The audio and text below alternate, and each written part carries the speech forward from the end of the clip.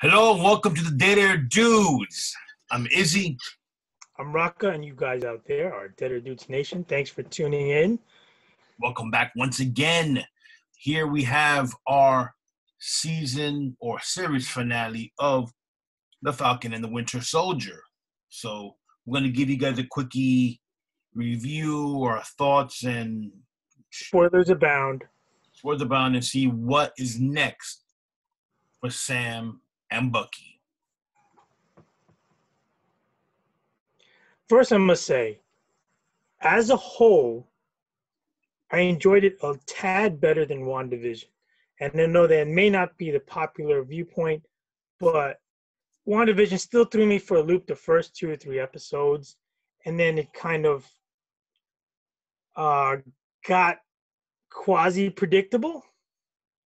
I think you can't compare the two. I think they're two different uh, narratives, they're two different stories. They they also were shown in different ways. The Winter Soldier and the Falcon. Well, the Falcon and Winter Soldier was more of an action-based, much more compacted story. More very, very linear. While you have WandaVision, which was outside the box purposely in eight episode was it eight or nine? I think it was eight. In eight episodes, so it was in eight hours, give or take, while while the Falcon was in six hours. That being said, both shows were very good. I mean, do you say tomato? Say tomato. I mean, some parts were better in WandaVision, and of course, you know, the action and everything else was was you know was great in this in, in this uh in this you know obviously starring Anthony Mackie and uh, Sebastian Stan. I mean, so we leave you hundreds. We're left in episode five with um, Sam's family trying to get back on track with his own personal dealings and uh, the the business with the boat. Um, Winter Soldier helps out. It's kind of like I wouldn't say one to grow on, but it's more of a, a reflection moment of where did we go from here?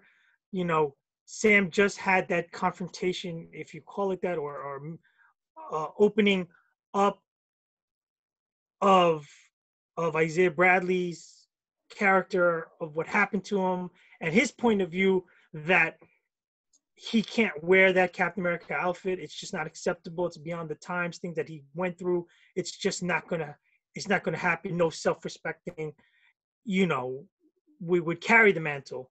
So I would say that this episode, and I do give kudos to Marvel in this sense, is that they they met present day social issues head on. Yes, they had you know they had they had a they addressed it very well, I must say. Did they had the balls, or the writers had the balls to uh, hit it head on and especially in the very climate, and they really did a good job. He, he was given a very good, eloquent ending with that line when the TV cameras are on him, and they just wrapped up. Um, uh, um, what do you call it? Um, Karli's character was killed off, and he's he's confronting, and this is a confrontation and challenging the powers that be to hear the voices. Understandably, people are beyond the law. They're taking extreme issues too far. But why? And he just wants everyone to have a conversation and to understand where everybody else is coming from. And that's where we're going to lead into the future. So, because of that one scene, and he's wearing the the the new Captain America. He has the new Captain America. Think real quick on on on the on the costume. Yeah, on the costume and the costume given to him by. A, what did you think of the costume?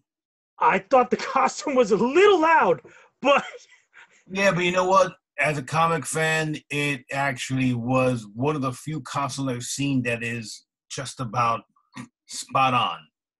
And that, ladies and gentlemen, is why, as much as we may want to, we cannot have the exact costume from the comics into live action because sometimes it does not work. Seems a bit busy, seemed a bit uncomfortable. It seemed also, and kind of chafing as well. He look he looks stiff. Yeah, I mean, you know, I don't know how you fight all these soldiers and as agile as he needs to be with the wings, and be that stiff. Oh, that's a good thing. Now, one of the, the and and the bad thing is, as much as I love Sam and I love Falcon or whatever, he does kind of get his ass kicked a lot.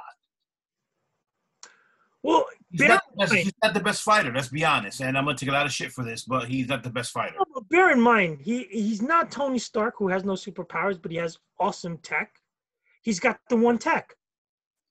You know, the wings and the the bird, uh, but that's it. So, but granted, with those things, he still manages to kick ass. Batroc was Batroc got up in his ass, and he was gonna he was gonna take him out. All right, let's not forget that. No, true indeed, true indeed. Um, I think it's more symbolic than anything else. No, but also and and, uh, and also I mean I'm I'm kind of poking fun at the same time. You know that he's going to get better. He's going to improve his uh his you know and But maybe, image take, is everything. maybe right? take some MMA classes or something. You know. you know. Image is everything. And what I think Marvel also wants to portray is that as the new Captain America, he's got a moral standard to stand with. And he's been the most integral guy in the whole show. He's been the most grounded with the moral compass. Well, he's been since he's been introduced. He's been you know he's been a a, a very a very you know. He makes common, level-headed decisions, common sense, right decisions. This guy's an extremist. That guy's a chip on his shoulder. This one wants to kill everybody. This one has a list of people he has to make amends with. I mean, now the Winter Soldier. Did you did you find his character, or he was just kind of like a throw-in? Because I think at the beginning it was kind of it, it, it felt a little trying too hard, but then he kind of found his his footing in his relationship with Sam. In particular, episode five, where people might say, "Oh, it was kind of boring." I thought the whole buddy cop, you know, you know, whole thing where they're playing, where they're playing frisbee with the, with the the Shield. with the Shield, was freaking awesome. That you know that camaraderie they had. That I'm not saying they're gonna be best friends, but right now they're the closest to No, right now they are best friends. you know the closest to uh you know they act like best friends, which they kick each other's ass, they hate each other's guts, but but they they've learned to, have each other's back. yeah. they- listen, They're they're on the same side. You know, no matter what each one is doing, you know you could count on the other one to come to your rescue, no matter what, anytime, any place. all right, now let's go to Karli Morgenthau. What did you think of her? That and- the flag smash. It was a very under, um, very superficial character. wasn't uh, fleshed out. I, I think she was so one dimensional. I think there could have been more to it. Um, I think she annoyed me at towards the end, especially. I'm like, I'm like, and I think the fact, and this is uh, again, I'm gonna, take flack for this too. I think the fact, not the fact that she was that that that, that it was, you know, reverse gender, which I think that's fine. But I think the fact that she was, you know, like more like more on, what was she, early twenties or teenage girl? I mean, I, I mean, I don't. Even though she's a super soldier, it's still, you know, I can't. Still bothers me that she's beating freaking she's beating up the Winter Soldier, who was an assassin who killed hundreds of people in his lifetime, and beat Captain America's ass. Had him had him dead to rights. no, no, no, I, no. He she beat a juiced up, jacked up, angry, death wish ridden uh, U.S. agent Yes.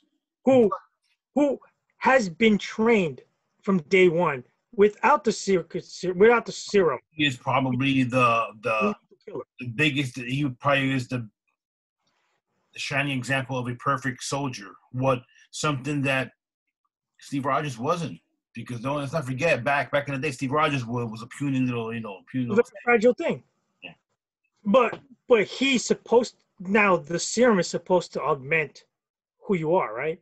Yeah, but he's he's fighting angry, and it wasn't really when he got himself under control.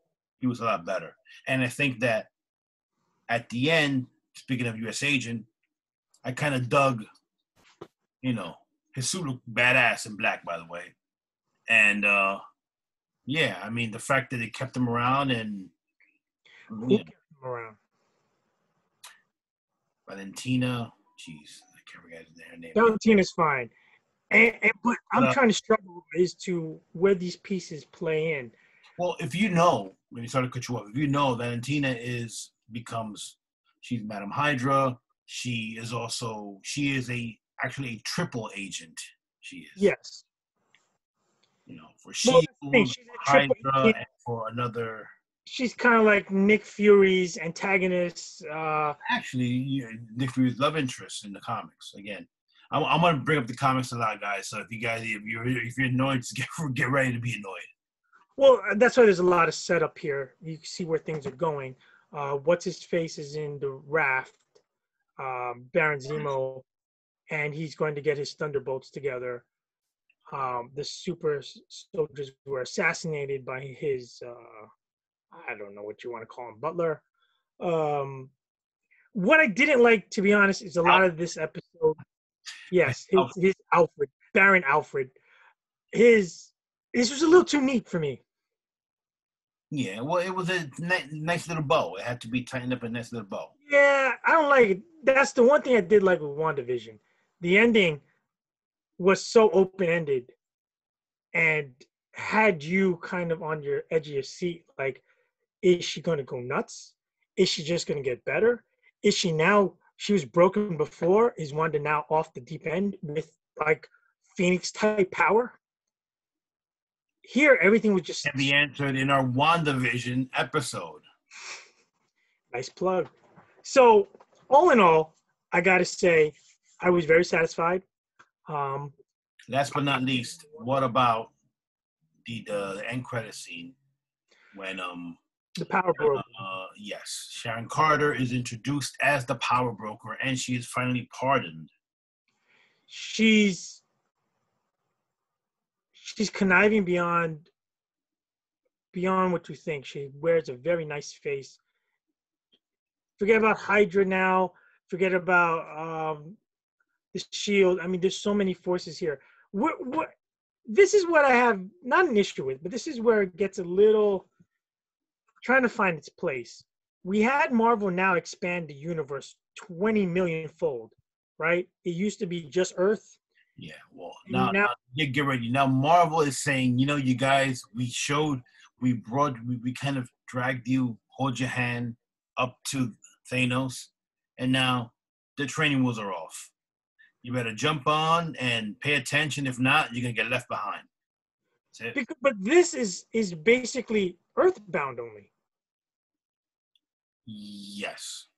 And yes, there are divisions with different countries. This But is it Earthbound only? Yeah, but my only issue so far is that is that interesting for me now that you've brought in Galaxy of the Guardians, other universes, different alien races, shapeshifters, um, uh, the I'm- I'm gonna ask you one thing that's gonna probably blow your mind, you know, or it might not, but it'll also nullify your point at, at this moment.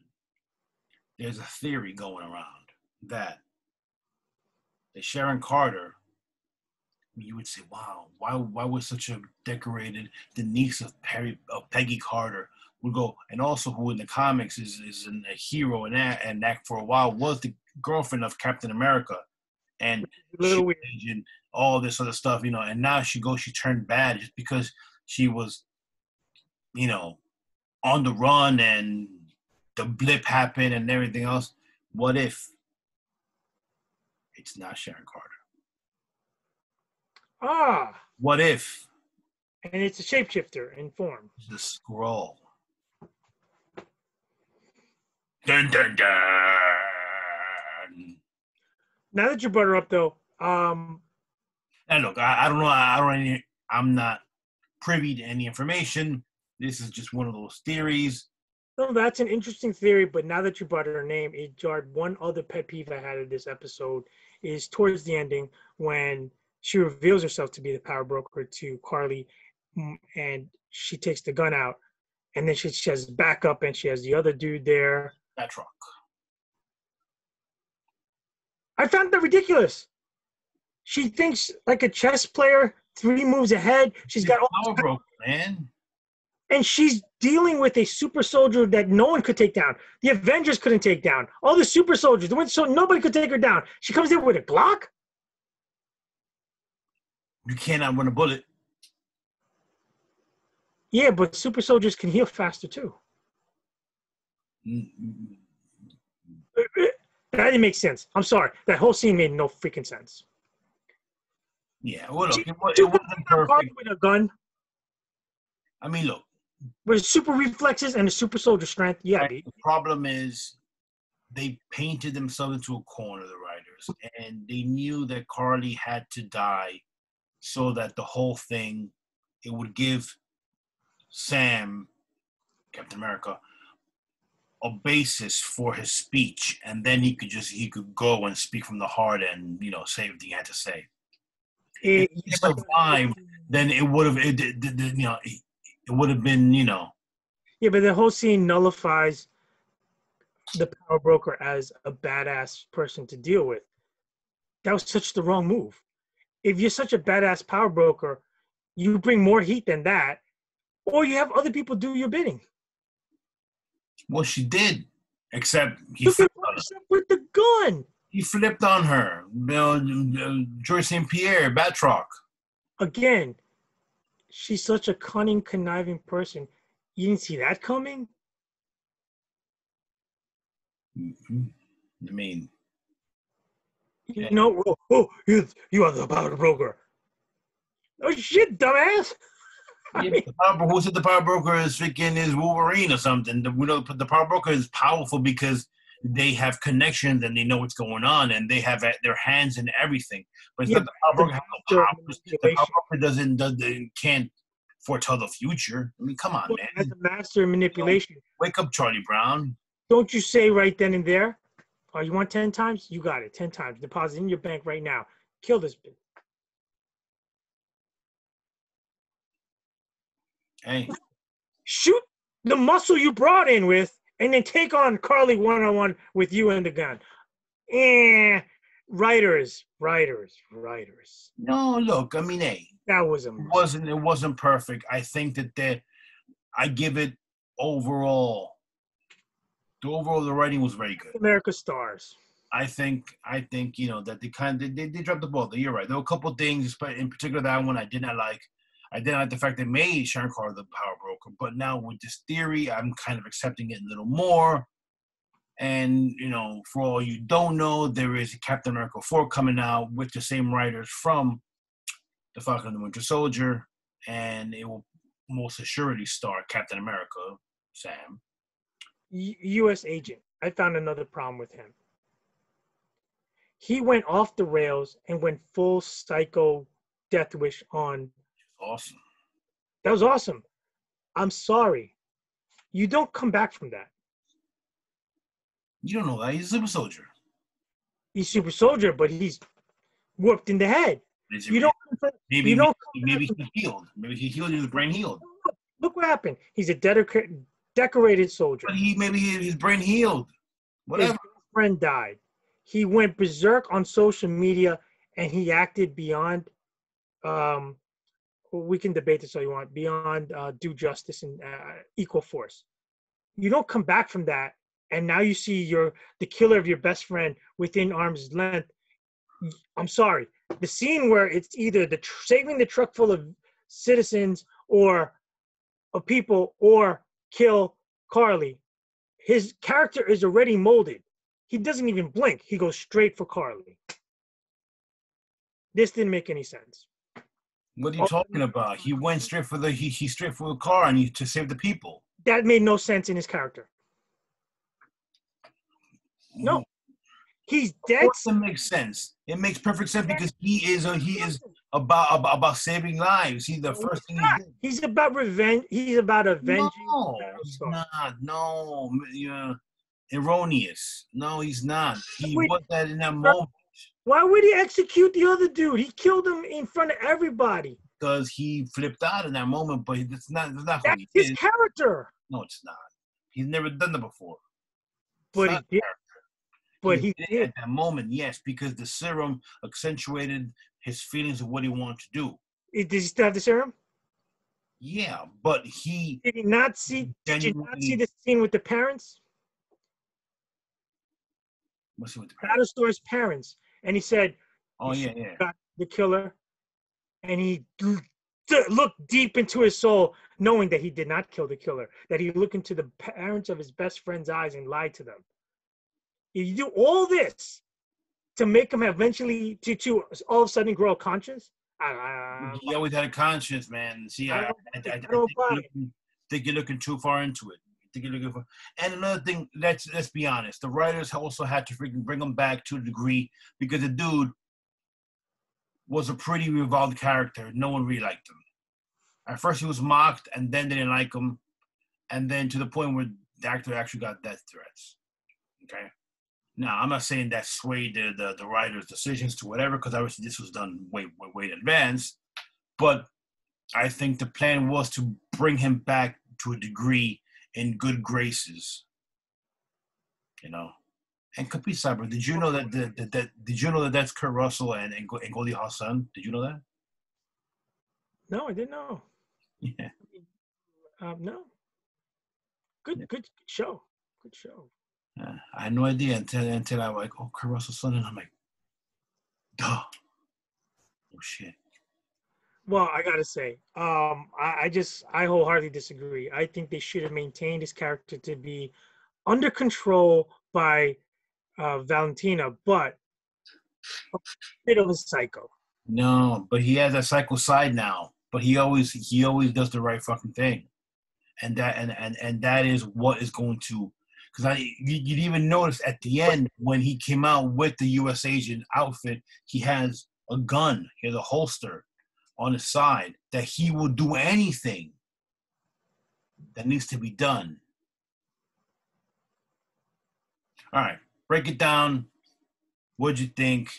Let's give it. Let's give it out of five. How I many how many shields out of five? half shields, Three and a half. You said. three and a half. For I had to mention too many things that I had issue, issues with. I give it. I give it four shields. Um, you know, my issues are more comic based, and I, I, I gotta get over that myself. So, uh, Well, my main issues are are storyline based, and um, no, I mean, look, all in all, don't and don't forget, I'm not.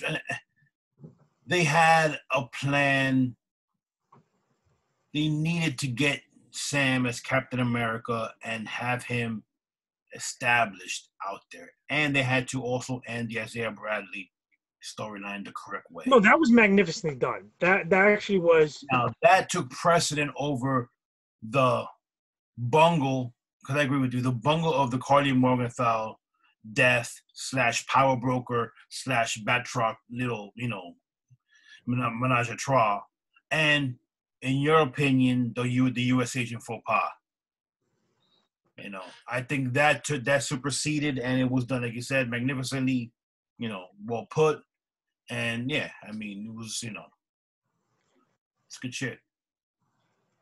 Yeah, I mean, it it seems a little sad that it's titled Falcon and the Winter Soldier, but I believe Winter Soldier's uh, story is fades really far back in the backdrop.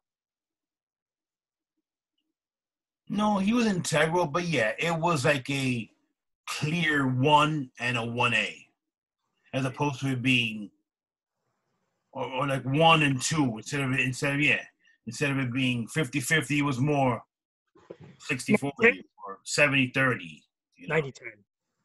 Nah. 80 20. But I am interested to see, but it did leave me wanting. I want to see A, how it progresses for Captain America, and what's next for Bucky.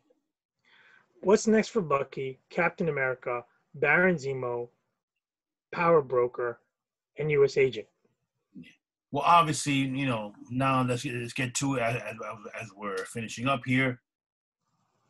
Obviously, Captain America 4, I'm pretty sure it's going to be Power Broker against Captain America, which is going to have need the, assistance of Bucky.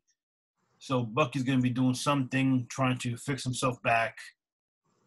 You know, since he already gave gave gave uh give the book back to uh the therapist, and yeah, you know, Well, then that's also an opportunity to bring out some more.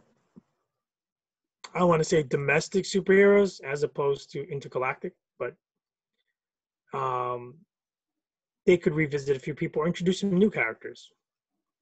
Well, yeah, I mean, the, the, there's enough characters within the Captain America universe that were never used. I would love to see them to use the Serpent Society. I'd love to see Scourge. I would love to see, you know, even someone like Nomad. I'd love to see other, you know, Diamondback, people like that. I mean, of course, they're little, you know, I'm not sure if people would get it or they would really accept it, but it's a little, some of them are a little wacky, you know, the porcupine. That, that, that dude was awesome. but uh, yeah, all in all, guys, we enjoyed it, and we keep we're looking forward to Loki when it comes out, and stay tuned for our Invincible season finale. I do believe we're gonna try to do that live when it comes out. And and no, um, not hedging any bets. I'm not uh, I'm not foreshadowing. I'm not gonna reveal anything, but so far it's been a ridiculously awesome ride. Invincible. Okay. All right, Tangent Man. Say good night. Adios, amigos, and save the whales.